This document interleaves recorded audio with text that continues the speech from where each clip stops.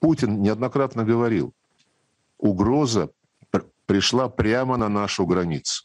Вот вы знаете, ну, я думаю, что секрет не раскрою, есть э, у нас данные, что Пентагон очень сильно озабочен э, судьбой э, объектов э, химических и биологических на Украине. Потому что Пентагон на Украине активнейшим образом построил две биологические военные лаборатории и там занимался разработкой патогенов. Сейчас они обеспокоены в Киеве и в Одессе.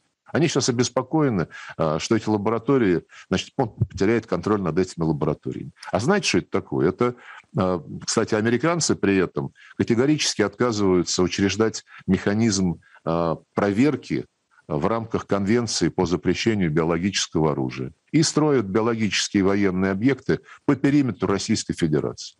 И на Украине строились военные базы, британцами в частности. И многие другие вещи происходили, когда Центральное разведывательное управление постоянно и в огромном